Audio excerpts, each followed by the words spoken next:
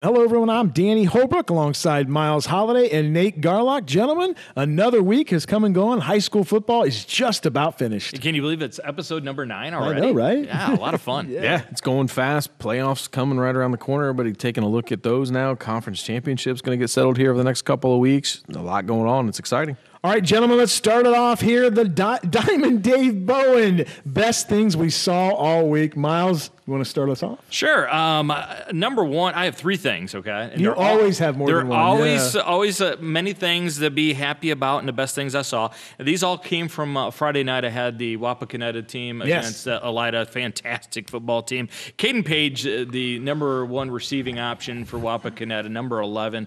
Guys, I don't know if I've seen a high school receiver that can catch a hitch and then get vertical with the ball in his hands quicker than him. Uh, you get a chance to watch him. He has something special with that.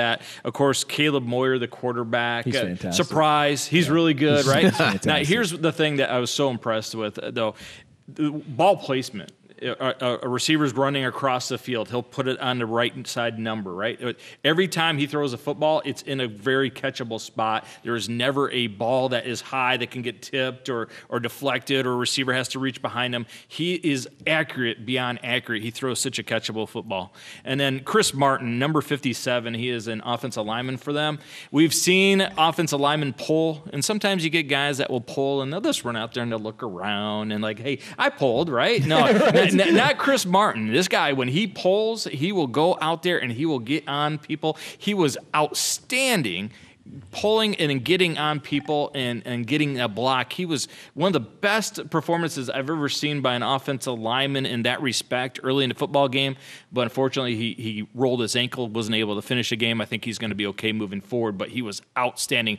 That Wapakoneta team, we knew they were good. That's my first time seeing them in real life deep, deep playoff yeah, run for yeah. those guys. I've got him. Got Gilly and I have him Friday night. That's gonna be a that's gonna be a treat. Yeah. Well, I mean, you talk about that game on Friday night. My best thing from this last week was actually Wapak's upcoming.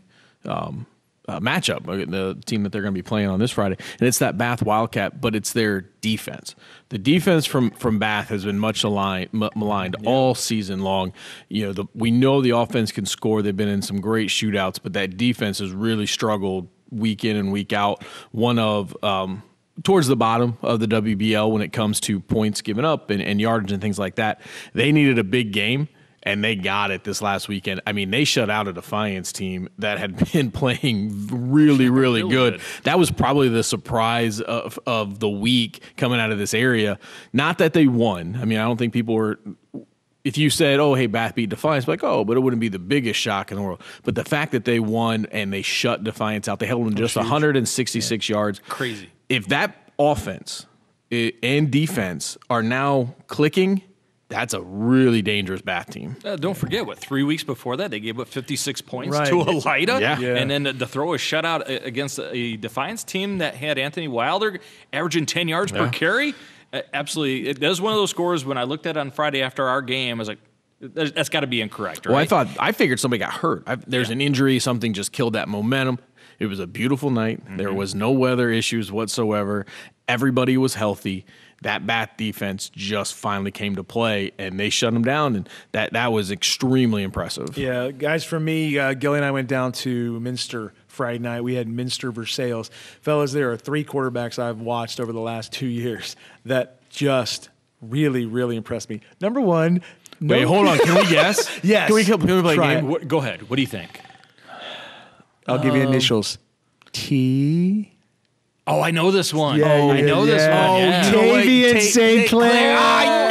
Just had to give me another minute. I'd have gotten there. So, I remember yeah. he's brought you, You've mentioned him. I think at least once we've talked uh, about an him. hour on the show. Yeah, Tavien St. Clair from Bellefontaine, obviously Division One recruit. Ryan Montgomery from Findlay High School, obviously a Division One recruit. And gentlemen, I got to see Brogan Steffi play for Minster. Now, look, I'm not calling it. I'm not going to say it's going to be an upset, but he gives Minster an absolute chance to beat Marion Local Friday night. He is he is as dynamic a quarterback. He's got over a thousand yards. He's thrown for ridiculous amount. But he's so athletic, guys. He has command of that offense. He is the real deal. He can play college football, and you ought to see him play basketball, fellas. He dropped 26 on Marion Local as a freshman. I was there that night. He is the real deal, guys. I think I and I and I said this about the Versailles game. I was wrong. Versailles kind of down this year for max standards. Don't get me wrong.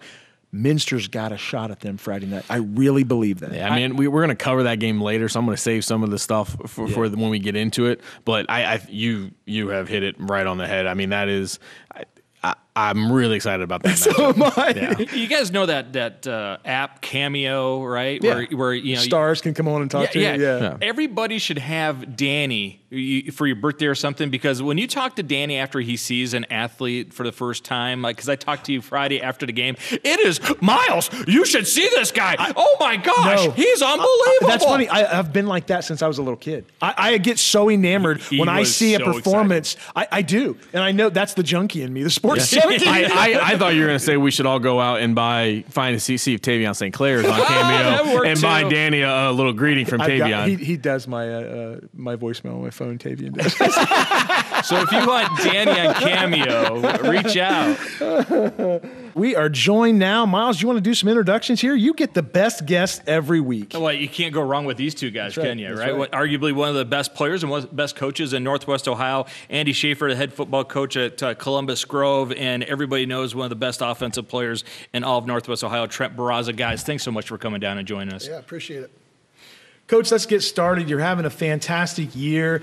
Uh, everything's falling into place talk to us about your coaching style a little bit. I mean, are you that guy? And, and we'll ask Trent the same question. Are you that hard nosed guy that's on them nonstop? Are you a player's coach, as they like to say? What's your coaching style, coach? Uh, I'm definitely, uh, I, I, guess, on them. I'm always thinking two to three weeks ahead of time. I'm always really holding the coaches accountable, holding the players accountable, and um, I, I, guess honestly, I'm never really satisfied, and, and and that's probably been a little bit more this year than any year, any year than the past. In fact you know, some of my post game uh, comments to the team has been pretty rough, um, and, and, and we're undefeated. So, um, I, I, don't know. like, what's going to happen if we lose? But I just, uh, I think we got a special group and a special group of kids. Um, um, they certainly bought in. They have high expectations, and and when the bar is set as high as what we have it this year, um, you, you, just always have to be improving yourself. Coach, you've you're, you're on your third quarterback now. I mean, it's unbelievable the way you guys just don't miss a beat, and and nothing phases you guys. I've watched you guys several times this year, and I'm so impressed by you. Just go. Uh, you know, we had the game at Allen East, and the whole game plan was to stop you, and you had it on 300 yards. I mean, what's it like to coach kids that just nothing bothers them? Well, I, I think it did, um, but it was very, very short uh, lived. Um, you know, and I saw the, the, the look on the face in Patrick Henry game uh, when when Landon went down, and it was just a couple plays before halftime. And you know, I was busy on the sidelines before I got into halftime, and I walked into the locker room, and it was complete silence, and, and everybody just had stunned faces. I went into the coach's office and saw the same look on the on the on the coaches, and, and then uh, I went off, and I, I basically, you know, we got this big board in our uh, locker room that it kind of talks about the all-state guys from Grove, and there's a ton of them. Um, and I said those guys have all graduated, and and the program kept going. You know, it's um, I can't ask people from last year's team to keep playing, and, and we've got to understand that at Columbus Grove we build our culture to the point of it's unfortunate when we lose somebody, but when we do, we're bigger than one person. I mean, even I'd hate to say it, but even Trent Barraza, we're bigger than one person. We're bigger than Andy Schafer as a coach. Um, we build our culture that way, and so instantly I could I could tell that the, it, it it clicked. And so yeah, there was a moment where I guess we flinched, but um, you know it was next man up and and the, the, kids just rallied right around Riley Sauter when, when he came in the next couple weeks, and he did, did a phenomenal job. And and honestly, as soon as he went down, you know, it was okay. Who's next? And we just kept going with with Hopkins. So. Um, you know, I think it's it's really a credit to the kids that have bought into that type of mentality that it's whoever's whoever's next, what what so so be it. Uh, we still got to play the game. We're Columbus Grove, and we'll be fine. Hey, Trent, 100 years of football at Columbus Grove. Obviously, this is a community that loves football. What age did you know like football is really important here, and I want to be a part of it? Um, eighth grade, seventh and eighth grade year, junior high, really. That is fantastic, and, and the community rallies around the football team. Uh, kind of goes by the community goes by how you guys do. Walk me through that week of anticipation: Monday, Tuesday, Wednesday, Thursday, Friday. What's it like being around town as the game gets closer? Um, I mean, you'll start seeing, you'll hear people talk about the game and like what we're gonna, um, like mon- on Monday. You know, the game's on Friday. On Monday, people will be talking to us about, you know, like what are you gonna do for this week? You know, what what are you doing at practice today differently than what you did last week? How are you preparing for this team? And yeah, stuff like that. It's interesting to hear coach talk, especially when he's talking about, hey, no one's bigger than, you know, the team itself. Because the reality of it is, and we all can be really honest about it, there's a lot of places where a coach wouldn't have that mentality when they have a player uh, of your talent. Yeah. 29 uh, 100 yard games setting the all time record. You have over 5,000 career yards. These are not numbers that come through every day, and especially at a place like Columbus Grove where there's been a rich tradition of football players. What does that do when that mentality is your coach is not going to let you get to a point where it's like, hey, I, am good. I'm going to be, I'm settling. You know, I, I don't have to put the work in. It sounds like you're still getting pushed every single day because he knows that's what's going to make you the best player you can be. What does that do for you as a player to help kind of keep you humble a little bit and keep working? Uh, like you said, it keeps me humble. Um, you know, obviously, if I was like um, you know, all about myself guy, I mean, my lineman probably wouldn't want to block for me. Um, that's why, yeah. I mean, in interviews, sometimes I, well, actually, every time I always, you know, give credit to my line and I give credit to my teammates because, you know, I wouldn't be breaking these goals if it wasn't for my my front five or my receivers getting the outside blocks.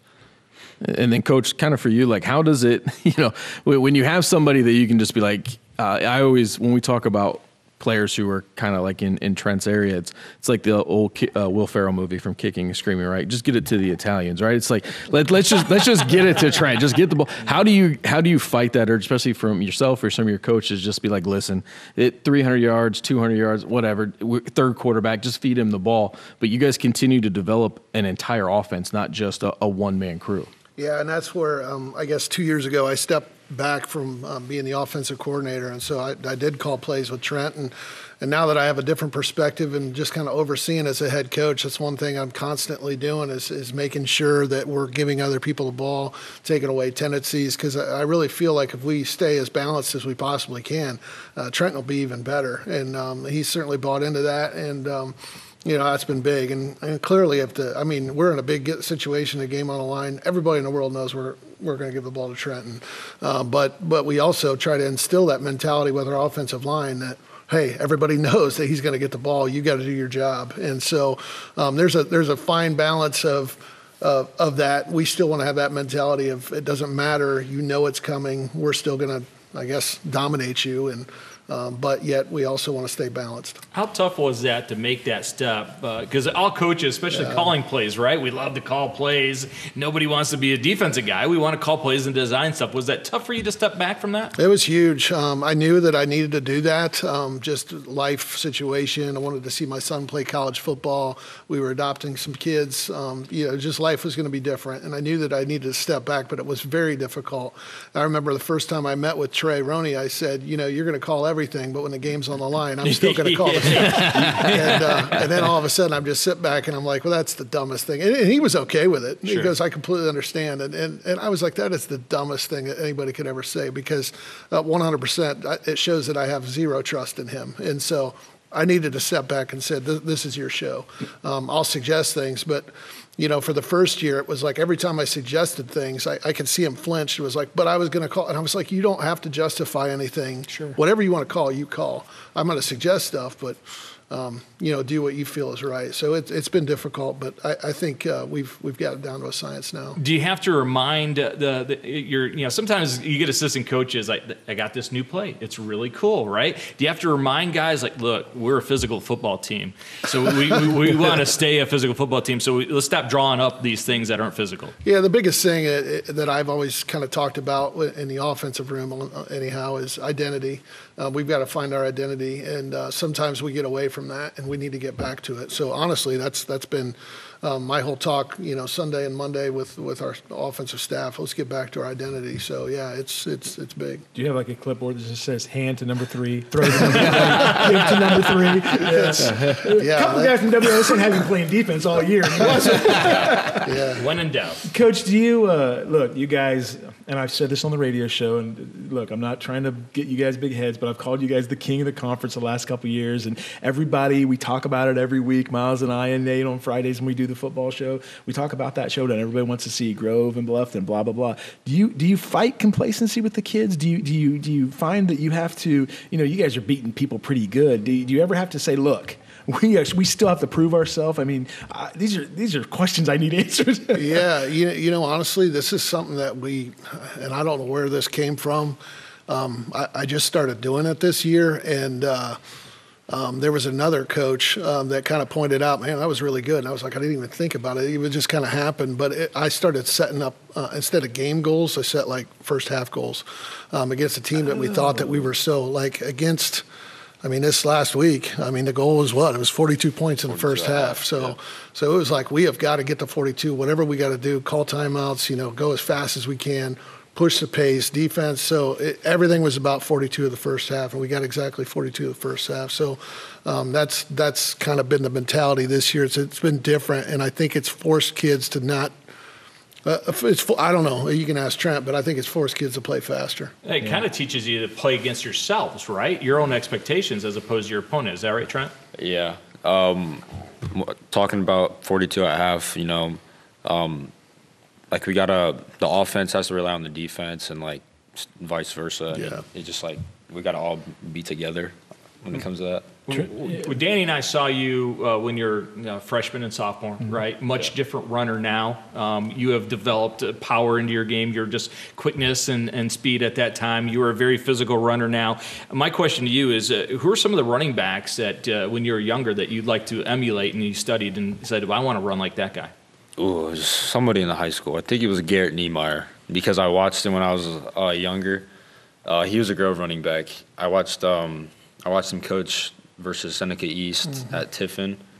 Um, what was it? State semis. Was that state semis game? No, I just it, remember it, it snowing. Before that, but yeah, it was uh, regional semis. But I just always remember Garrett Niemeyer being like a like a pretty good running back, and I would always like. He played with my uncle Trevor. He was a receiver, so I always like knew that kind of group. So I was like, I want to be like Garrett, yeah. I said your running style to me reminds me of Robert Smith, and I don't know if you know who Robert Smith was. He was a Buckeye in the early 90s. Long strides. Long strides yeah. and a bigger guy, and that's the style you have. You, are very patient when you wait for the hole to open up, and yeah, just, yeah, just don't fantastic. feel bad if you don't know who Robert Smith is. I, I do this every week with these two. These guys are constantly Coach knows who Robert names. Smith was. Scarlet Gray, baby. I just have to sit there and go, oh yeah, I bet that was a great player. I have no idea what you're talking about. It, this is my every week, man. Yeah. Don't feel bad. I want to ask you this, Trent, because I ask every high school player we have on this show, everyone, yeah. the one team you enjoy beating the most. Week 10, it's Bluffton. Oh. are, are, are, you still with the, the young am. lady at Bluffton? Okay. I am. All right. Sure, all she knows what's up. no contact for the next two weeks, I'm telling you. yeah, you know, Trent, you heard Danny was talking or joking about the WSN guys thinking that you played on the other side of the ball. Well, it's your brother. What's it been like going through this season? He's having a great year. Um, he's sitting, I think, still tied for first in interceptions in the league. What's that like being able to share the field with him and you guys having success on both sides of the ball? Uh, it's awesome. I mean, he gets it done on defense, I get done on offense. Um, but I mean, as far as he goes, he's been a heck of a player this year. I mean, mm-hmm. he's been very coachable. Uh, I think all of our coaches have really bought into him, and he's doing a good job for us. What's that like at home? There's still got to be a little bit of that. Oh, oh you got still, those two interception. Great. Oh, you see the 300 yards? Yeah, yeah. He's, he's getting a little big head sometimes. So I gotta, I gotta make him remember like I'm still big. Bro. Trent, when I when I used to coach and we'd play a guy of your stature, and I'd say to my guys, do not say anything to him. You know, help him up, get him back to the huddle, be super nice to him, because the moment you start talking trash or doing something dirty, that guy the light switch turns on, right? Right? How do guys approach you? Are, are they do you get a lot of trash talk, or do they get a little dirty underneath a pile once in a while? How how's, how do they attack uh, Trent Barraza? Well, I guess it just depends on like where I have connections. I, I've played sports for a while, and I guess I've developed some relationships with kids from other schools, so I'm pretty cool with most people. But here and there, there'll be that one kid that I have no idea who he is, and he'll you know do something that was cheap, or I'm like, okay. You remember him, don't you? Yeah, I remember. Coach I'm fascinated to know this culture you've built over there is is, is, is incredible. What did, what did you when you first came in? What did you have to do to establish that culture? I mean, what's the? I always ask coaches, what's the one thing, and they always look at me like, oh, "There's a lot of things we do," but like, if you had to say, "We're going to change the culture here," because that's that that's the that's the key, I think, in my mind, to getting a program to where you want it to go. That foundation. Yeah, it's the it's the culture. Can you can you answer that? Or maybe I ask you too much. Uh, I no, don't know. no, you can ask. Uh, it, it's a really a long, long type thing. I've gotten some clinic talks on it, but uh, uh, to me, number one, it it it it didn't happen right away. So you said, what did you do when you first got there? It, uh, screwed up, maybe honestly. And uh, yeah, we were we were six and four one year, and, and Oh, we, got, no. we got on, we got on a hot streak and made it to the state semifinals, and, and that's that was the year that. I, I think some things clicked. It was like because as a team we really got together and we grew, and I started noticing this leadership thing. So um, I established like a leadership academy one year, and we started doing that and really kind of poured into some kids um, just outside of football. And then um, and then uh, I was on a trip and I kind of learned some like things about I was reading about like core values and that kind of stuff. And I honestly didn't really like that stuff at first. And um, all of a sudden something just kind of hit me that we needed to establish a core values. And it didn't matter year to year, record to record. It doesn't matter. It's going to be the same.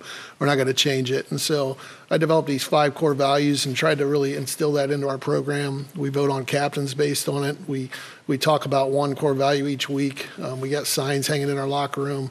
Um, you know, we really spend a lot of time when we get into the playoffs. We really kind of talk about it, um, get in small groups, and you know, I think that has really changed. But but not only um, when you do that, you have to have coaches that buy in. You've got to have players that buy in. You can you can say that stuff all you want, but if nobody buys in, it's not going to work. But literally, I think everybody's bought in. They understand the importance of it, and and then I'd also like to say just longevity as a staff. I, I've got the same staff that I've had for the last. Um, shoot seven or eight years now, and um, that makes a huge difference. Um, and that's hard at a small school, but the guys that we have, most of them are Grove graduates, and, and they love the program, and they bought into the, like I said, those core values, and I think that's really changed our program. Trent, do you, do you find that you take some of those core values uh, into your regular everyday life uh, in the school, maybe, maybe in just your, your personal life, as opposed to just being in football only with them?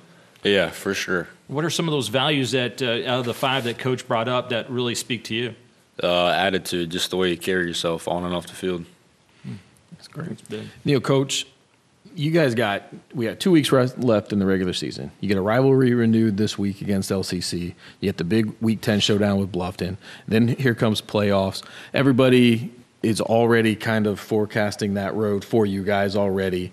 You know, everybody wants to see that big matchup towards the end. How difficult has it been for even just yourself to make sure that you guys are staying focused week to week and not listening to a lot of the other noise that's going on surrounding possible matchups, what you guys are capable of doing, and what may be waiting for you at the end? I don't know. I'll be honest with you. I really don't think it's that difficult, um, and I think it's mainly just because of the focus and, and, and fire that we have in our practices. We, we just don't have downtime. We don't have time to think about other stuff. And I know kids are hearing stuff outside. I mean, I know it, and uh, I know coaches are hearing outside. But as soon as three o'clock rolls along, it's, I mean, it's LCC this week. That's all we're talking about. The kids also understand, like you said, rivalry renewed. You know, Scott Pauldy, a Grove graduate. Um, you know, his name is, is hanging up in our locker Right, room on that right. same board that I talked about. I mean, he was a Take it heck down a- this week. uh, he's a, do like they do on campus. Knock it out. No, oh, sorry, sorry, coach. yeah, yeah, but but seriously, I mean, the kids understand how important it is for this week. So I've really not. I've, I mean, I've never not really had to struggle with that this week or this year. How about with you, Trent? Has it kind of been the same thing, or are you guys finding it, you know, where sometimes you guys as leaders got to tell the other kids, hey, focus. We got LCC. We still got regular season. We're not. We don't even need to worry about playoffs yet, let alone what could be at the end of it. Yeah, I think some of our guys do look ahead a lot, but I mean, um, we keep people. You know, we try to make it one week at a time, and you know, one game at a time, and keep winning. Yeah. Well, let's talk about LCC this week. Big challenge. Um, looks like they're finally a little bit healthier than they were earlier in the year. Um, when you guys look at them on film, uh, without giving us a ton of game plan, right? Because this is going to be out before the game. What are some things that impress you about LCC? Who are you asking? Both of you. Both of you. I like how they clammed up though. They don't want to give anything out. They don't want to give anything out. They play football. That's what we saw one of the on. oh, yeah. They throw and run. no, they're they're they're clearly a, a well coached team, and uh, I I think the thing that really um, impresses me about Scott uh, Paulie, what he does when he calls the offense is is he tries to make you think, and when you think, you play slow, and so he's going to do some window dressing stuff with motions and different people, and and uh, you know false key on the offensive line, stuff to just make you think, and that worries me because we're a pretty sound team, and um, we play pretty sound football defensively. But you know, when we think, we obviously will play slow. So that, that's the thing that worries me uh, the most about their, um, you know, about their offense. And then defense, it's it, they're running the same stuff we do. So. I, I like our defense. I think it makes us successful. So it's a good defense, and they're running it. So I think that uh, um, it's going to cause some challenges. Yeah, Trent, anything you see that uh, maybe you're like I got to push a gap a little bit more or bounce it outside a little bit quicker, anything like that? Um, I mean, no, not really. I think with my me and my front five just keep doing our thing, we're gonna be good. Coach, we do a football preview show every Friday on 931 The Fan, and, and Mark Shine comes on, and he's like a computer. The only other guy, the only other guy that is like that is Ned Stickshell. I, I swear to you, he, he sends us stuff. I- Yeah. He's impressive. He really is. yeah, Ned, Ned does a great job, and uh, you know I was very cautious when I first got to Grove, and and I had who the heck is this guy, you know? And, and, and as I started to see what he did, I was like, holy cow, this is amazing. And then and then you quiz him on what. You remember that play in 1938? That oh yeah, I remember that play. No, I don't. I don't know. You just start making up stuff, but he knows it. He he's uh, he's really good, and and um, you know we um, I think the Lima News did an article. We you know we we do put him on a headset, and I, he he does help us break down stuff, and um, he stays quiet till I ask him a question, but he's always able to give me an answer right away, and that's pretty cool. Fill in the blank, both of you. This season is only a success if we what? I know what you're going to say because you're going to say the same thing I'd say. You're all in, right? Yeah. This season is only. We're, we're gonna, we're, I know, it's a First. favorite. stop coming. Oh no, no, this is great. This is great. This is a great podcast. I, I, I would say a state title. Right? Yeah, I, that's what I was gonna say. That's what I Yeah, got. That's but what I Dan- got. just I was gonna But you don't want Danny playing, believe me. You You don't want doesn't him out want there. coach as soon as he walks Yeah. out here going, why'd you say that? He's looking for a quarterback. I can help. Uh, you know, Trent, you got a lot going on right now, man. You know, it's your senior season. You're you're playing really well. You're setting a lot of records. A lot of attention coming your way. Your team's doing fantastic. But in between all this stuff, the recruiting trail has really started to heat up for you. Uh, you know, I've been seeing on social. You've been making game day visits and different Yeah. things like that. How have you been able to balance all of these things? You know, all the recruitment stuff, still making sure that you're focusing on football and what you got going on this year. It's not always the easiest for kids. How have you been able to do that? Uh, it's not always the easiest, and it's actually putting a lot of pressure on me right now. But uh, I think I'll be able to handle it. And um, um, going on these visits and stuff is pretty fun. I mean, learning like last week, I seen a D one football game for the first time. It was pretty. Oh, that's awesome. It was pretty That's good. Uh, yeah. Um, but I mean, as far as balancing it, um, it's not it's not too bad. I mean, I'm getting getting through it, and yeah, really. You've been getting a lot of calls, coach, having you know about co- colleges coming, wanting to talk with Trent and take make visits. It's gonna it's gonna end up picking up here in the next couple of weeks. That's when colleges really start doing, and you know we, kind of you know told Trent and I mean they're they're coaching their season too. So, you know it's it's the way it is. It's it's uh, I, I I hated it when uh, when I went through this with my son a couple years ago. So. Um, it is very stressful. It's hard to keep focused, but you know, so far Trent's done, done a nice job with it. Have you had a favorite visit yet? Uh, I don't want to be biased or anything, but it's where his his son plays at Indiana Wesleyan, probably. Oh, nice. Okay. Yeah. All right. Coach, you guys um, have one of the best atmospheres in all of high school football. The light show is amazing. Everybody gets excited, right? Is it a school that is always going to stay a grass field, though, or is something down the line? Maybe you guys go turf. I just see you guys always being like muddy and grimy yeah, and dirty. No, I hope so. I honestly do. I, I really hope our game field stays grass. Now, I will say this: I've been uh, I would love uh, a practice field turf because we, obviously we spend a lot more time on the practice field than we do the game field. And you saw our practice field; it looks like we practice on concrete, and uh, maybe that's why we're tough. But Yeah. you know, um, but I, I love the feel of grass. I think our groundskeepers do an amazing job of keeping that grass as nice as they can, and um, it's pretty special. It's a, definitely a special place to play. What about you, Trent? Would you rather play on grass or when you guys get a chance to play on turf, you feel faster? Which one do you like? Turf definitely makes our guys faster in every way, but you know when you get tackled, you know, and you get up and there's Yeah. a huge scrape on your arm, it doesn't doesn't feel good afterward. Is it difficult picking the right shoe to wear on turf compared to grass? Uh, I don't I don't really think so. I wear Okay. the same cleats on both. Do you, do you know what the record is for your four years? Is it is it is this senior class?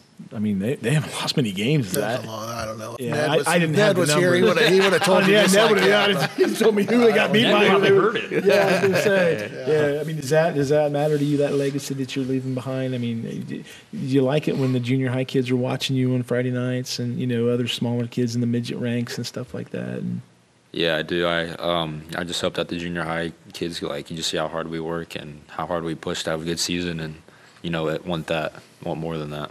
Yeah, that's awesome. Yeah. All right, guys. Thank you so much for coming in. We really appreciate it. So, uh, Fantastic. yeah, absolutely. Best of luck to you guys, and let's let's just win a state title for Northwest Ohio. Sounds good. Yeah. And look, I'm not saying your season's going to be a failure if you don't, but you're going you're going to win. You're going to win. I got confidence in you. You guys are awesome. We wish you nothing but success. Thank you. Thank you guys. Back here with the three wise men on WSN podcast, guys. What a great visit with head coach Andy Schafer and Trent Barraza. Man, what a just a great program they're running over there, fellas. And uh, coach has got it going on. The culture, the wins, the, the very few losses. It's just a terrific program.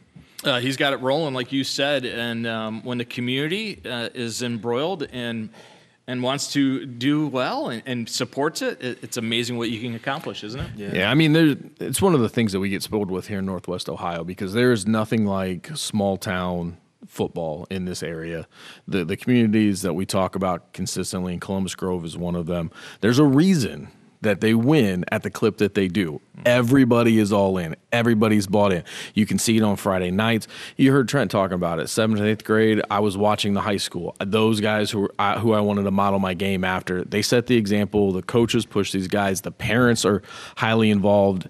It- it- there's nothing better, and there's a reason that Columbus Grove consistently over at least my entire lifetime ha- has been so good. And it's one of those places you go on a Friday night, th- their practice field. There's like 30 little kids playing a Yeah. football game. Yeah, on their own. absolutely. I I just like the way Coach owned every question we ask him. You know, a lot of times we'll ask questions and we get a lot of coach speak. He was direct with everything. You know, very this is honest, how I am. This is what we do, and this is yeah. So I like that. All right, gentlemen, it is time to preview the Week Eight schedule for WOSN. Guys, we're going to start off with those Columbus Grove Bulldogs. Lima Central Catholic comes calling. Lima Central Catholic comes in at six and two, four and one on the Northwest Conference. Columbus Grove eight and 0, 5 and zero, still the king of the conference. Randy Roberts and our own Miles Holiday on the call. Oh, this is going to be a fun one, isn't it? Because LCC uh, looks like they're starting to get 100% healthy again. Uh, Matthew Quatman played last week. Now, uh, they struggled a little bit against uh, Spencerville, but uh, they still got the victory, right? Um, so many great matchups in, in this one, right? You got Brady Parker, who's running the football better than he was early in the year at quarterback, throwing the ball really well. But then you got, as, as Nate said earlier, uh, Barraza, Gavin Barraza with four interceptions, and Trevin Baxter with four interceptions. So is a really good defensive secondary for Grove going against a really good deep ball passer in uh, Brady Parker throwing to Mylan Collins. So that is a fun matchup. You also got the matchup on the line of scrimmage. You got the uh, big guys up front with the, the McKee brothers going against really good defensive lineman for Grove. And then you got a great matchup of Caden Falke at linebacker going against Trent Barraza. I mean, it's a really fun uh, It's gonna be a matchup good game, yeah. It, it should be. Um, however, when you look at LCC, and they might be a little shorthanded with experience.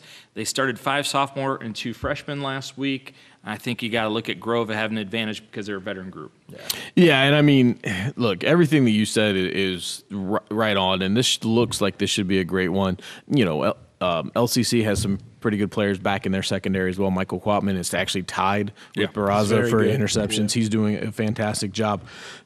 you know, but Kyle Hopkins is starting to come on. He went 10 of 11 for 270 yards this last weekend. He had three touchdowns.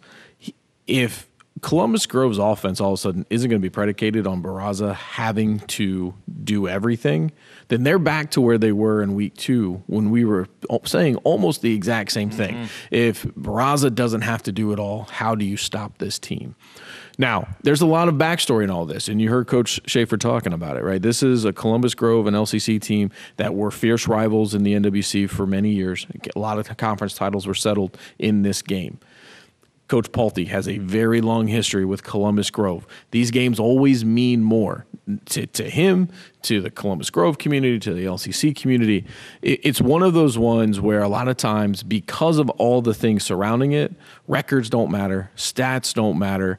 You, you, this one just has a different feel. It's like that Ohio State Michigan matchup. It's like a lot of these high school matchups in the area where that's your rival. Now, you heard Trent say, hey, maybe they moved on from LCC a little bit, right? It's mm-hmm. Bluffton now with them because yeah, LCC's been out of that conference.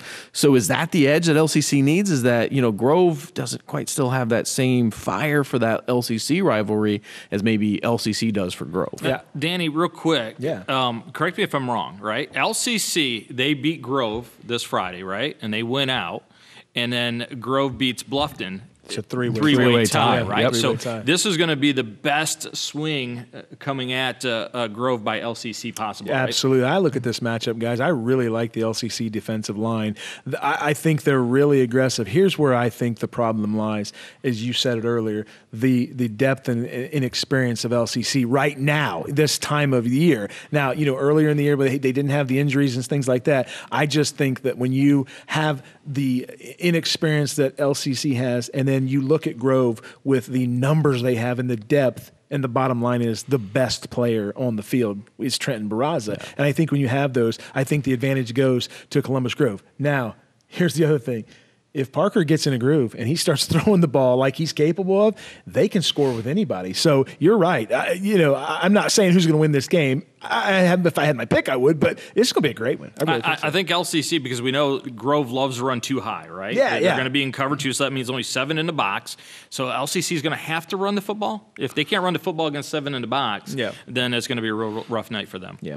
All right, guys. Game two: Bath Wildcats at Wapakoneta. Myself and Darren Gilbert to be on the call. Bath rolls in six and three overall, six and two in the WBL. Wapakoneta just steamrolling along, eight and zero oh overall, seven and zero oh in the league. They are the king of the league, guys. That Bath offense is dynamite. The defense is playing better, brother. Hey, I'm not calling upset, but I'm telling you right now, this is going to be a fantastic game. Yeah, I mean, it definitely should be. This is going to be a matchup between the top two scoring offenses in the Western Buckeye League. Wapak and Bath are sitting one and two. The big difference here is that Wapak defense. They're only giving up 13 points a game it's coming really into good. this one. Right. They, yeah. they, they are able to throw big bodies at you. They, they're disruptive. They're fast. They fly to the football. And, you know, we've seen Bath struggle with that a little bit, but then we've also seen them be able to beat it with their quick passes. And if Wapak can contain Zach Welsh and what he can do when he has to take off and run, it's going to be a rough night for Bath. Now, is Bath capable of knocking off Wapak? I, I, truly, I, I, think that they are. They are built. They have the offense that is able to do that. Yeah. It's going to come down to that defense. And we talked about Caleb Moyer earlier today. Um, I, you know, last couple of weeks he's looked fantastic. We're only two weeks removed from him being 23 of 25. Right, right. Uh, That's you ridiculous, know, you, you, yeah, and you talked about the ball that he throws one of the most impressive things to me when I've seen him play is, and we've seen a lot of high school quarterbacks, guys. We have, and sometimes they make throws, and you're like, wow, that is a that's a big time throw. Every time I've seen him throw the ball, it has looked like a different level than anybody else that I have seen. He doesn't underthrow guys. He hits guys in stride. It's always out in front of him. Yep. And I have I I can only think of one pass where he put it in danger. Other than that, he's put it only where they're going to get it. He stays out of trouble. He still hasn't thrown an interception all year long. If Bath isn't able to find a way to make Caleb Moyer make mistakes, yeah, I think Wapak continues this run. Caleb Moyer, I'll say this, guys, is as good at reading defense as any quarterback we have in the area, and he can identify cover two. He can identify zones, where to put the ball. He is a field general, mm-hmm. and that's you know him and his dad. His dad's the head coach, obviously, yeah. but that kid is really smart. When you put a football brain in a football body, you got a player. Yeah, and, and you got to credit the offensive line because how many times you go back, back and watch film, right? right? I mean, his pocket is clean, and, and, so he's basically playing seven on seven because there's nobody getting a pass rush on him.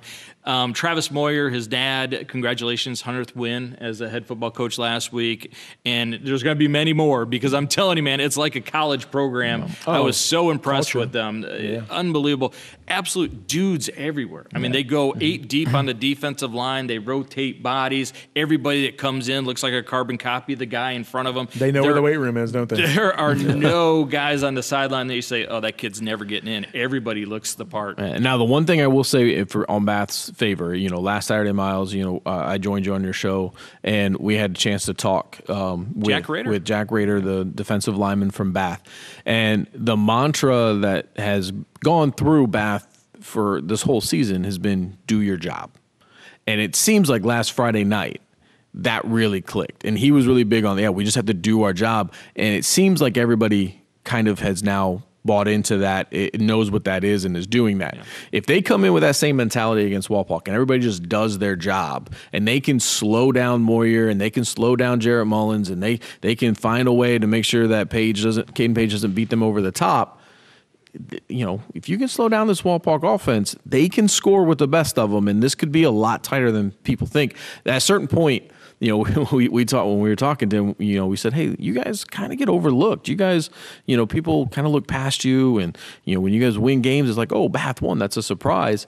He goes, we're sick of it. We're sick of being overlooked. Mm. And, you know, if you're sick of being overlooked, this is a week to make sure that that happens. Well, do your job. I guess early in the year it was just do your job on offense, right? right. Yeah. they yeah. went and say, "Hey guys, on defense, we should probably do that." Um, you got to believe though, if Bath can pull an upset, and let's be honest, it would be an upset, right? For sure. They pull the upset. Mikey Hale's going to have to have a monster game. He has to. Does he though? Because you know they just won and beat Defiance twenty eight nothing, and he only had like thirty four yards. Animal. They shut him down. it's a different. Well, I'm just saying, like now, so. but this Bath offense now has shown that they can put points up and they can compete even with Mikey Hale not touching the football. Confidence is everything. If they get a score or two up, on yep, confidence is sure. everything. Agreed, but it is a little beat up in the receiver position too, right? They they're missing yeah. some guys there, so they're going to have to run the football. Um, a really good offensive line at Bath. Isaiah Murphy, number 55, as good as anybody in the WBL. So if those guys show up and they limit uh, Wapak a little bit and, and can score with them in the first half, turn it into a slugfest in the second half, then they got a shot. But um, Andre Longsworth, I want to mention him. He is number 24 for Wapakoneta. He came in with uh, Bryson Pack. He left with a hand injury, and you thought, well, they're going to have trouble at running back. No, it was Marshawn Lynch carrying the football. so uh, Andre Long- Longsworth is just as good as anybody. He just hasn't got the carries yet. Game three, gentlemen, the Allen East Mustangs travel north to play the Bluffton Pirates. Garrett Mansfield and Dar Nevergall, Kenny Rogers, Burt Reynolds, whoever you want to call him. He's the look-alike. Guys, Allen East comes into this three and four, two and three in the Northwest Conference. They made a change at quarterback. They moved Jackson Thompson back to the tailback position, and Bluffton comes in rolling along at eight and zero oh overall and five and zero. Oh. Everybody's awaiting that showdown against Columbus Grove. Any chance of a slip up this weekend? Uh, maybe so, because everybody thought last week it would be a huge uh, Bluffton win, right? But then all of a sudden, Fort Loramie surprised everybody, scored 28 points. Right, right. And, I was and, surprised at that. And they yeah. throw the football, right? Fort Loramie, well, Allen East, they can throw the football, football yep. right? You got three really good receivers in Deacon Jones. Best name in high school football right there, isn't yeah, it? Deacon, Deacon Jones, 18 catches. Uh, you got Hunter Nichols at 15 catches and Ethan Young, 13 catches. They got athletes, yeah. Yeah, and, and you made the, the comment about the quarterback change. Keegan yeah. Jones, 58% of his passes. They score 33 points a game. Mm-hmm. I mm-hmm. think they're going to give a game. Maybe they don't win it, but I think they can scare Bluffton a little bit. Yeah, I mean, we'll see. It, it was you know that Bluffton defense has been incredible over you know for the past year and a half really yeah, in conference exactly. play. They'd only been giving up outside of Columbus Grove. They hadn't even given up a score. I think other than like maybe seven points to one team. I can't quite remember at this point, but Fort Loramie may have given teams a blueprint, right? That there's that hey now you can throw on this team. This is where the weakness is. This is how you attack them. Now, Allen East has gone through their own quarterback issues. You know, they're on a third quarterback for the season as well. They have found ways to kind of keep things going. They've struggled at times, but they're coming off a big win off of over a struggling Delphos Jefferson team. Maybe that gives them some confidence. They're able to kind of get going and, and feeling a little bit better about themselves heading into this one. You know, and if, if nothing else, you know, if you're Allen East, you're in the spoiler role, right? Like that's what you rally behind. Hey, listen, we, you know, we can knock Bl- Bluffton off. Nobody expects us to do anything this week. We have nothing to lose. Let's go out here, show them, you know, that we can play with them, and you know, maybe they also help out some other teams and show a couple of more weaknesses for the Pirates. Guys, I, I look at this a little different. I, look, Bluffton is gauging their program against one program and one program only, and that's Columbus Grove. And guys, right now, defensively, their statistics are better than Columbus Grove if mm-hmm. you look at it. Yeah, they and were last year, though, yeah, too. I know, I know, I know. Yeah. And you look at their statistics offensively. Look, that's a really, really good team. Uh, I think Allen East is going to have trouble moving the ball against that defense, but I do, I do like Allen East. I like the athletes they have. I like Jackson Thompson. I, I like Deacon mm-hmm. Jones. I like some of the kids they bring bring out there. But I'll tell you, this Bluffton team is just it's really good. Well, here's the my one thing about Bluffton. You know, coming into the season, I think there were some questions for teams. You know, whether or not this Bluffton team was a rebuild or a reload because they lost a lot to graduation last year off of that really successful they team. Did. They came in and they seemed to be firing on, on all cylinders right away. But when you start looking at the schedule and you start looking at the teams that they mm. have mm-hmm. played, it is not the most daunting of schedules. They got LCC without a Matthew without Matthew Quatman in a horrible rain yeah. with two very long delays because of power outages and all sorts of weird things. And that really is their only real challenge that they had faced before they hit Fort Loramie and then Fort Loramie is able to put on 28 points. points. I still think that there's some things to be cautious about about this Bluffton team as they move into week nine and 10 and even into the postseason where they should feel like maybe we still have something to prove. Yeah, Bluffton is an explosive offense in their own right, uh, especially with the, the sophomore quarterback that is outstanding. How many sophomore quarterbacks complete 66% of their passes? Throw 16 TDs and only one interception. Yeah, They're dynamic. really good. Guys, game four, I think this is the game of the week. Minster rolls into Marion local. Patrick Kamler, Jerry Snodgrass. Minster comes in at 7 and 1, 5 and 1 in the MAC.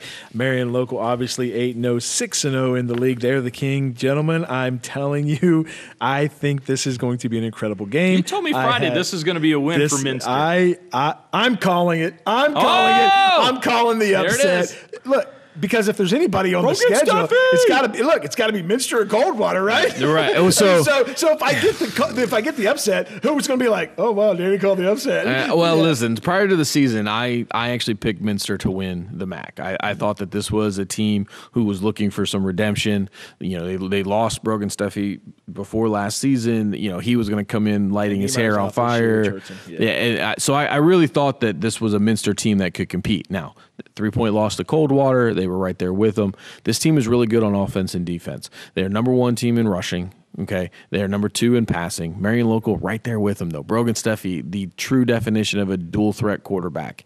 He can do it all. They have a great defense. They have all of the elements.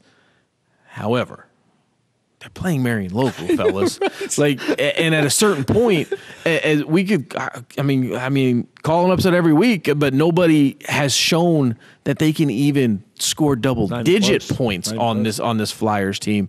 Now, without a doubt, this week and next week are the hardest games on Marion local schedule but they haven't shown any reason to think that they're going to be any different. Now, as much as I, you know, because I look like a genius since I called this, you know, two yeah. months ago, I just don't see it happening. And again, it's not a knock on Minster. I think they're a fantastic team. I think they'll make a nice run in the playoffs. The problem is. they will then have to see Marion local again potentially, right? Yeah. Like you, there's just Imagine this scenario, Nate. If they beat Marion Local Friday night, then they have to play them again in the yeah, playoffs. you have to figure out a way to beat them twice in a season. Good lord! So I, you know, this is also for the state tying uh, rec. Uh, to 57. tie the state record at 57 straight wins if Marion Local wins as much as Coach Goodwin downplays everything, and I'm sure he is not worried about this record, there's got to be a part of him that's like, Delphos St. John's is a yeah. MAC team. They had a nice rivalry for a lot of years. I want it. I, I yeah. you know, the players have to be, you know, it's nice when you're Marion local and you're, you're kind of isolated out there, kind of in the middle of Maria Stein, out you, out your own little world. But I don't know, man. I, as much as it would be just one of those things you open and you see the scoring, like what, and you'd have to see the game to see how it happened. I just, I don't see Marion local losing. All right, so let's go through some of the numbers here. The, the 56 in a row, right? Mm-hmm. Um, 46 straight regular season wins, 24 straight at home 217 and 24 since 2008. It's pretty. It's absurd. Nine state finals in 10 years, seven state titles in 10 years, outscoring opponents this year 407 to 22, scoring 51 a game, only giving up three a game, have pitched five shutouts. And then you go over to the numbers for Minster. Brogan Steffi, Look, I, I I think he's dynamic enough to pull this. off. I, I- really do. can he score 40 points on his own? I don't know that he. I know this. Those those Minster kids are really really physical. I watched them last week, They're gonna have and to. I don't think there's any fear in those kids. That's that's what I'm saying. I, I think these kids know the Marion local kids. Uh, Look, Marion local is the king. We get that. That streak's going to end sometime, and. Th- you need a dynamic playmaker to make that happen. This is the perfect scenario for me to see this kid. Right. They can run the ball, they throw the ball, and he's at his best when he gets flushed out of the pocket. Fella. Marion Local has great athletes. Brogan Steffi's the best athlete in the MAC. They For- uh, he, he is. And They average 36 points a game, uh, 416 yards per, per game. And how many of those are because of Brogan Steffi? You guys buying me pizza if I get this right? Sure, absolutely. Well, I mean, look, here's the thing. You know, they do have a good receiver, Dylan Heitkamp. He's third in, in the league in receiving, is about 500 yards for the season. The defense is really good. It's only giving up 16 points a game. These are all fantastic numbers. They are. Again, until you play Marion Local, who has the number one receiver in the MAC. It's they only like- give up three points It's a like game they're wizards. Like, it, it, it- you know, I, I can't remember the exact quote, and you guys, because you're old, you may remember the, the quote, and you guys, and you guys, and you guys might remember exactly the movie. I can't quite remember it, but there, there, I know there's a sports movie. There's somewhere the quote that people talk about, and it says, "Do you, do you know? Maybe, maybe it's. Do you know why the Cowboys always win?" Or maybe it's because why is Notre Dame always win or something? It says because the other team's too busy looking at the helmets. And it feels a lot like that for this Marion local team because you can be as ready as you you can be all week long, having great practices, you're physical, your everything is great. And then you're standing on the field and out come the yellow helmets and it's like, It's oh yeah, when the jerseys go on. That's It's 10 them. when the jerseys go on. And you know, right now that's the air that Marion local is breathing. Mm. They save the entire state if they pull the upset. Like- remember, remember when? Uh, oh yeah, you know what? Let's let you know. You think anybody's going? Hey, let's really make No. local mad? No, right. Like, Remember- let's upset them. Let's Remember get- when Buster Douglas knocked out Mike Tyson? The rest of the heavyweights went, "Oh my gosh, it's possible! It's possible!" Yeah. All right, guys. Game five, another MAC showdown. Coldwater strolls into Versailles. Mark Shine, Dave Bone on the call. Coldwater goes in undefeated, steamrolling towards that matchup with Marion Local. They go to Versailles. Versailles five and three, three and three. They've lost three in a row, fellas. Really. Uh, not what we were expecting out of Versailles. It's a good team, don't get me wrong, but boy, that forty-eight nothing loss to Marion Local, and then they get really hammered by uh, Minster. They lose that uh, close game to Anna, which nobody expected. They're reeling right now, and then they've got to get up after a three-game losing streak. Oh, by the way, here comes Coldwater. Yeah, Nate, we hit on it last week, right? They, they just can't score enough points, right? Yep. Yeah. And and you know it's. I don't, I don't know if there's any team that's reeling more than the Versailles Tigers right now. This was a team coming off of a state runner-up um, um, last year as, as they finished their season. A lot of high expectations. They start this year five and zero.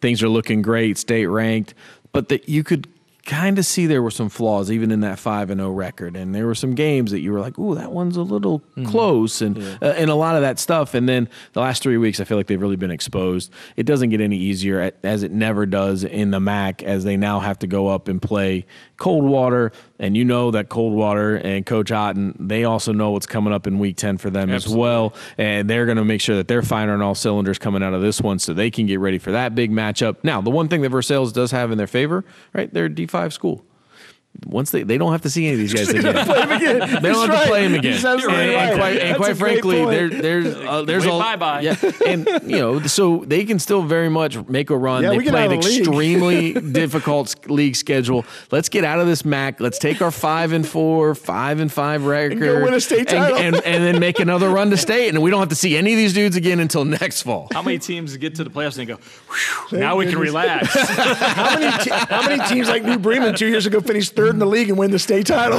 right, right. Guys, uh, Friday night, uh, one team we have talked about on this show several times, the Lima Senior Spartans win their game 79 to nothing. Guys, running up the score, what, what do you consider to be running up the score, and when is it okay to run the score? Now, I would just want to say this. I, I saw that score Friday night on the way home, and I thought, man, alive, what are they running the score up for? I didn't realize they scored 72 points at the half, and they only scored a touchdown in the second half. It really changed my perception on everything. Look, I'm going to let my dogs hunt in the first half. I really am. I find no fault in that. You know, if it was 140 at the end of the, you know, I don't. yeah. I don't think you can run up the score in the first No, half. you right? can't, You, right. You can't. You, you got to play regular football Yep, in the first for half. sure. Second half, and I've always gone by this adage, right? If the other team is running off tackle, they're doing the right thing, handing the football off, and you're not stopping them in the second half, 100%. that that is not That's your- running up the yeah, score. That's your your fault. fault. But if they are throwing the football over top of your head and putting points on the board when the game is way out of hand, running trick plays, running fake punts, those types of things in the second half, that's running up the score in my estimation. And you know that Lima senior team. I, I was watching the highlights. Right, they had a 98 yard pass play. Yeah. They had some screens that broke that went for 60 or 70 yards. I mean that that's their offense. They were just running their offense. You know, Janias Hall set a new OHSAA record for touchdowns in a game. He threw 10 of them. 10 of 'em. in a half. Right. That's incredible. Um, you know, Boog Wilson set the school record for uh, receiving yards in a season. Did it in just eight games. So there were some good things that came out of there you know, but that's that's rough. It is what it is, though. You know, I don't think Lima Senior did anything wrong. Um, I would think. I, I it, it does remind me to probably send a thank you note to the OHSAA and for Running clock. doing a Running running clock, Yeah. because I can't imagine if that game had to play regular stoppage in the second half. Um, but you know, at a certain point, you gotta stop somebody. And you know, Lima Senior, everybody knows what they're gonna do. You have to be ready for it. And if you're not, I mean, that's kind of on you as a, as a team. I mean, that's that competitiveness. I think it's more embarrassing if you tell the kid to step out of bounds at the five or the two or the one, right? Instead of scoring a touchdown. Well, then what are you supposed to do? Just take a knee, Yeah, for yeah. three and then punt it. I mean, I agree with eh, you on that. At a certain point, you, you you know you're going to play. You're going to play your offense. You still have things to work for. I mean, their season's not over. Lima Senior knows that they're not going to be have a super high um, placing in in the playoffs. Right? They're right now uh, sitting at ninth. They're not even got a home game. Now they Mm-hmm. win their last two. They should bump up, but it may only be eight and seven, which means they have a competitive first round game and a difficult second game they're trying to get themselves ready to go as well. They can't just take a week off because you know it, scoring was easy. Now, Danny, you and I, we are, uh, as Nate likes to remind us, uh, we are older than Nate, right? And, Well, let me move my walker out of the way so I can hear you. Yeah. and by the way, that's a really cool rascal that you got. Now. I, well, yeah, I chose mobility. I've fallen and I can't get up. But You guys we're- doing a great job of telling everybody that you're not old as you're telling these super old And jokes we're that doing- only a certain segment of our listeners and we're are doing going to get. non-sports stuff. Sorry, Kelsey. but, but you and I are old enough to remember before the running clock. Yes. Running up the score, that was something that was commonplace, wasn't it? Yeah, it was. Uh, guys, I was at a, I want to tell you a story. I was at a high school football game a couple years ago. I'm not going to tell you the schools, the two schools. I will off the air later. Uh, one of the schools was beating the other school pretty bad. And the school that was winning the game was back in punt. They, they were going back to catch a punt. And the kid fair caught the punt. And the team that was getting smoked, this kid just plowed into him. Okay? And it was a bad score. It was, it was a bad score. The two head coaches the head coach from the team that was winning walked out on the field to the mid stripe and he looked over at the sidelines and he told the other coach if you don't take that kid out of the ball game i'm going to score 100 on you i was there i was there for the whole thing and the other coach did not take him out and they proceeded to just run it up and i, I don't know where i lie in that whole situation because sometimes you got to send a message and i don't I, look i don't advocate anybody getting hurt. I don't. No. but man alive So- Is- is- I'm, I'm just reading. When is it okay to run up the score? Mm-hmm. I don't know. Well, so I so I get I can remember when I was a kid, and I forget how old exactly I was, but and it's the only score that really sticks with me. I'll forget everything that we've talked about here tonight, today. Who's old uh, now? Tomorrow. Yeah. Well, you know, I just got other things to worry about. No, but I can remember. eh, I mean, like it was yesterday, looking in the mm-hmm. newspaper and seeing Columbus Grove beating Cary ninety nine to three. And that was way before running clocks or mm-hmm. anything like that. And I remember that score forever and just thinking, good lord. And I, I I'm like, can you imagine playing in a game where a team scored 99 on you, you only got three? That I don't know the circumstances of any of that. That's a crazy lopsided score, right? I, I do remember one time. This was a long time ago though, and um, there there was a team that was getting beat, and they were getting they were getting outscored. It was they were getting beat by quite a bit, um, and a team actually ran a fake punt on them, and completely completely made the other the other coach furious. Some weather comes in. It was late in the game. He decides, you know, they're going to call it. They're going to bring it in, and then that coach is like, they they, were, they wanted to call it because of weather. Yeah. And that coach is like, no. And you want to know why? You're coming back kick. tomorrow morning, and you want to know why? Because you decided to run a fake punt on me, Yeah. and he made them come back Yeah. the next day to finish the last couple minutes of the game. old Rakata. I mean, so you know, the stuff. You know, there are know. consequences Yeah. to running up the scores and doing Absolutely. things like that. There are. Hey, look, Woody Hayes said it best. Why didn't you go for two? Because I couldn't go for three. Yeah. great. Uh, that- Miles is right that back in the day, uh, and usually, guys, those are personal situations between head coaches. absolutely. Those are For per- sure. Yeah, those, Yeah, the, the kids sure. have nothing to do with that, but they pay the Well, they all the kids are doing are running the play that the coaches has called. it's not like the kids decided to do Oh, I'll tell you this though: when you get a chance to run it up on a guy that did some wrong to you, kids get fired up. They want to, and that's Yep, when I've it's there. okay, in my Yep. opinion. If if there's a school that did you wrong, did you dirty, it ran it up on you, and that's a, usually it's the coach that's gone by then, right? Right. Because they they've taken off. But if you get a chance to, to pay it back, I think you and can. I think it's honestly, right. I think that's in all sports because I can tell you in other sports that I've coached, I've been on both ends of it, Mm-hmm. and I've always tried to be like, hey, listen, you know, we're we'll, we'll back it down. We're not going to embarrass people here today. That's not what we're here to do. But we've had people do it to us, Mm-hmm. and I'm like, and then you know, my guys get, and I'm like, listen, you know what it was like when it happened to you, so that's why we're not going to do it to them. But then people want to do it to us. Okay. But we're not going to forget, and we're not always going to be down. And then when the when the tables have turned, I, you better not be yelling from the other sideline. It doesn't just happen in football. It happens in high school basketball in this area too. I've seen it, you know, a lot. Coaches Oh, yeah. in the third and fourth quarter still pressing when they're up. Yeah, 35. back in the day when they do yeah, that. Yeah. Yeah. yeah, Guys, the Buckeyes go into Eugene, Oregon Saturday night and suffer their first loss of the year. Uh, can this Buckeye team bounce back from this and still contend for a, not only a Big Ten title but a national title? Nate, what do you think, buddy? So I, I say, yeah. I mean, look, it, it, it this all is very disheartening. Unfortunately, it's something that um, you know, as you guys love to talk about my negativity, I I I had been. I had been I had been concerned about this since week one. I talked like I've just had this feeling of impending doom since the first kickoff with all of the expectations that got thrown on this team and all best team money can buy and blah blah blah blah blah and all these things. And I I haven't really been able to enjoy this season at all because it's just like us. at some point Because of us. well it's just I just felt like the reality of it was is when you were watching things on the field it wasn't always coming together on both sides like it needed to. I felt like there was just too many things that seemed unsettled. We weren't just dominating from start to finish in games. We would go through stretches of domination but it wasn't from the opening kick to the end and I I, I was concerned we talked about it you know you I know Miles you really thought that this was going to be a two score game I did. and I was like, I, I don't know. I don't think so. Like, I'm not really sure why Ohio State fans are thinking that this Oregon team isn't going to be good. I thought this would be a close game. And then there were a ton of mistakes. There's clock management issues. There's there's there's all sorts of things that you can talk about. Weird plays. Yeah, Yeah, like yeah. there's a lot of weird stuff. So, do Not I think receivers. at the end of the day, they still lost to the number three team in the country one. by one, And off of won. some bad clock management. And can right? you tell us, the listeners, who the best player for Ohio State Saturday night was? Um, I mean, Oh, oh, oh. Say it, say it, Nate. Say it, Nate. You can't deny it. he was he was really good Saturday night, chip bag. and I said to you, you're going to see it. all right, all right, I'll give you that. Yeah, Emeka, I think Emeka played pretty good. He did. He Yeah, did. yeah, But so- you got to admit, Will Howard. With Do the I? I don't have to admit anything. that's awesome.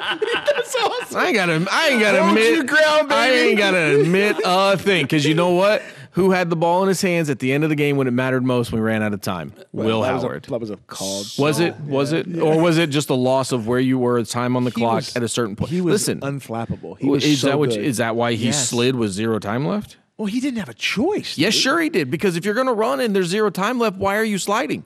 you have to know the clock at that point. He did. He- Because if it's not there and you're not going to clock it right away and get- just figure it out, tried to then, get down. then you. It, no, it was zero. Now stop it. He he could have done. He, at that point he was going to do something else. He just he gave it up because he was doing the right thing as far as I'm going to get down. Yeah. We're going to call that timeout. We'll get the field goal. He wasn't aware of the time. That's that internal clock. He that that is on him. Now, I I blame Ryan Day for putting him in that position with some of the stuff that happened Should've earlier in that drive for Should've kicked the field hundred percent. But as the starting quarterback of the Ohio State Buckeyes, you have to have that internal clock in that moment in that big game. We talked about it, and I'm not saying that Will Howard lost them that game, but he didn't give them the chance to win it like he should have. He's going to win us a Big Ten title. I firmly believe that. Th- There were just so many weird things, right? A ton of weird things. Denzel Burke, I mean, was a He looked pylon- awful. awful He pylon looked out there, awful. right? That, but that was targeted, guys. they, they they went after him intentionally. Well, and we talked about that though. Like we felt like he had to be one of the better players on we the did. field, and he was He the was for worst. Oregon. Yeah. It was awful. um, the the uh, ping pong kickoff, right? Yeah. Uh, um, the OPI, which drastically changed the game. The 12 guys on the field, uh, which was uh, officiated t- terribly. Uh, the clock ma- management. We get to the 28 with the timeout. And we don't run the ball to get in a better field goal position with the timeout. There's just so many weird things in that football game. No pass rush because they're grabbing cloth on every single play. But yet, like Nate said, we only lost by one. So it, it does kind of make you step back and say, well, hey, maybe we are pretty good. Oregon played about the best they could ever play, Oregon's and they good. just Oregon's barely, good, yeah. barely beat us by one. And Nate brought up a pretty good point. Well, maybe the guys relax now and just play football instead of trying to point. live up to a, a unbelievable standard that can't be reached. uh, Everybody had these amazing expectations. Now that maybe they can relax. Now, they will do that if they do one thing free Jack Sawyer and JTT. Let them go to the quarterback. They don't. They don't let They him do it. don't. They make them rush C gap, run it's hurt their legacy. Run It's upfield, hurt their legacy. Run upfield. Let them loose. Let them go get that. If they got to spin back inside of a tackle, they got to rip back inside. go ahead. The defense seems scared of a repeat of what of last year, where they just got tore. Yeah, and so now it's instead of that attack, attack, attack, it's well, we'll just play this. We'll keep everything in Very front of static, us. yeah, Yeah. yeah. and it's it. I mean, it's going to bite them. Here's what I'm afraid of, fellas. I'm afraid of this. I'm afraid Darkness? of no spiders. Ghosts. Both. Stinks. Oh, yes. Oh, hey, I'm afraid of this. Heights? Yes, absolutely. Yes. there are che- if the Buckeyes stumble against Penn State and have two losses, then I'm thinking that committee is going to sit in that room at the end of the football season and look at that schedule at the beginning of the year and not put us in the 12 I team field. They, their two losses then would have been to number three and number four. on both of them on the road, but No, still, it would be number three and number three. yeah, actually, they're both of yeah. them on the road still. But I just that schedule was just awful. I- now I- Michigan worked. It Well, itself but and, and you're year. right. But if you're talking about maybe a second loss to Penn State, that's assuming then that they be- beat a ranked Indiana team, a ranked Nebraska team, and a ranked Michigan team. That should cancel out. Sure. You know, the, a, a really weak non-conference with you know multiple ranked wins on your schedule. I think two losses isn't a problem for them getting in. Um, that does makes no margin against Michigan, which I- Well, and what it does And though is don't it makes your it make it, you don't get your buy, and it makes your first round very competitive. You don't get that kind of that you know. Mouse had a great point today on the show. Yeah, uh, think about this scenario, okay? Um, you don't you don't play in the Big Ten championship game, okay? So there's your bye week. Mm-hmm. You, you're the five seed, and you play at home In the second week of December. single week. Yeah, all right. Second Would week you of rather December. have that than playing in the Big Ten uh, championship game, maybe losing that? I mean, Bring someone from the SEC up second week of December I mean, in Columbus. Maybe. Uh, you're not wrong, but it's also then it's like, all right, now all the stuff that people have talked about of really watering down college football has now happened because now we don't care if we win a Big Ten championship title. oh, you're No, right about that. that you know what I mean? Change Like it, now it's it. now it's like all right now. Unfortunately, the things that people said would happen happen. I wonder if eventually we'll It's see. weird, isn't it? Yeah. If we'll eventually see conferences go away from championship games because of that. Well, I mean, the big reason and the big push to even do it to begin with was because you had to have it to get into the top four, did. right? And Yeah. now that doesn't really seem to be something. Now, let me ask you this before we move on. Yeah. Who do you blame for the loss? Oh, you got to go um, Jim, Jim Knowles. you, you- you got to. 500 Yeah. yards offense. You The, got to. the scheme just wasn't. You guys don't blame Day I don't. because he's taking a lot of heat right now. Rightfully so. You're the head football Yeah, coach. You should. and should, he, and yeah. he, he's one in seven against ranked opponents. He do, he hasn't shown to be able to win a big game. These are at- all the talking points that are going around Absolutely. him right now. I And they should be. And I'll just say this: that I'm a Ryan Day fan. I always have been. Always will be. Um, but look at those losses. Some of those losses, just the craziest plays. And, I, and I'm not making Well, I know, but uh, yeah, some- I know. I know. Uh, the other Yeah. teams won them off Yeah. of the crazy plays. I mean, Sure. at a certain point, Yeah. you know, you don't put yourself in position to get beat by crazy Ask plays. me that. Right? Ask me that in six weeks. If he loses to Michigan. All right, well, let me write it down so I remember. All right, guys, let's wrap this one up. Our Power Five football teams in Northwest Ohio. I got a feeling that all three of them are going to be the Same. same. What are you talking but about? I've got a changed. slash over here. I've got two on the outside looking in. so Who are your two? My two on the outside Yeah, looking in, yeah. Minster and Lima Senior. I'm giving them some love. All right, I'm giving them some love. My top five. Can I go first? I never gonna Go first. Absolutely. Yeah. Go ahead, Danny. I know this is going to come as a shock, but I'm going with a little school down in Mercer County called Marion Local. I know you've heard of Oh, them. no yeah, way. pretty good team. I like the Wapakoneta Redskins. I like the Columbus Grove Bulldogs. I like the Coldwater Cavaliers, and I like the Bluffton Pirates. Yep, uh, exact. yep, yep, um, um, yep. No, nothing's really changed. Yeah. Um, on my outside looking in, I have Yeah. uh, I have the Shawnee soccer team. Um, He had Coldwater volleyball last I week. know, that's yeah, why I'm- yeah. They're dominant. Are you kidding me? That's their player of the year.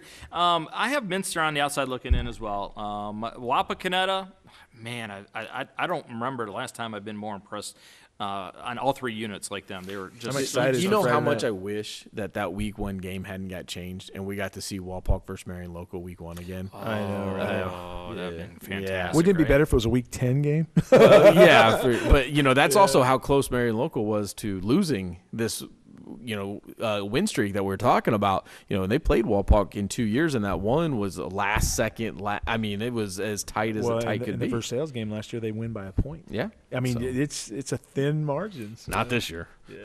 and then we got Grove and Bluffton, of course, and then Marion Local and Coldwater. Now, let me ask you guys this question. Danny has Lima Senior on the outside looking in. Which one of those five teams would Lima Senior maybe knock off? Bluffton. Bluffton. Yeah. And I and I Yeah. think because Bluffton appears to be susceptible to the pass, Right. which is what Showed it Lima last Senior week, does. Yeah. They're going to go to the air. They're going to dominate you that they dominate you that way. And if that's Bluffton's weakness, that's not a good and we, matchup. We, we talk so much about the league that Lima Seniors, and it's not those kids' fault. They're doing exactly as they're told to do. They're scoring touchdowns. Mm-hmm. They're playing defense. They're winning games. Good for them. And- And my argument has been all season, and it will continue to be, is that yes, that the TCal i- is a weak conference. There's not a lot of good teams in there right now. However, there's a lot of teams that are playing TCal teams as well as Lima Senior, true. and not one of them are putting up the scores and numbers that Lima Senior does against these teams. Janias Hall, 10 touchdowns in that game, right? Yep. Yeah. Um, is it also the record for most uh, touchdowns thrown in the first half? It has to be Right, right. it has to be, right, If, yeah. if, it- if it's in a game, it's in the half for sure. Because they're all in that first half, right? Yeah. Yeah, that's crazy. Gentlemen, thanks a lot. Let's do it again. Week nine high school football next week. We'll be right back here and uh, more great guests and uh, more great topics. It was a lot of fun. Absolutely. Yeah. You've been listening to The Three Wise Men on the WSN podcast. John, guys.